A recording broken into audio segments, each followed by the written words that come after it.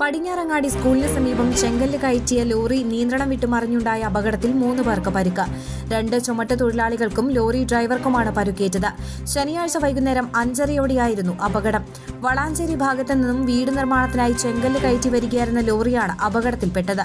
കുത്തനെയുള്ള കയറ്റത്തിലെത്തിയതോടെ അമിതഭാരം മൂലം ലോറി പുറകോട്ടേക്ക് തെന്നിയിറങ്ങുകയായിരുന്നു. തുടർന്ന് നിയന്ത്രണം നഷ്ടമായ ലോറി സമീപത്തെ മതിലും ഇടിച്ചു തകർത്ത ശേഷം മറിഞ്ഞു വീഴുകയായിരുന്നു.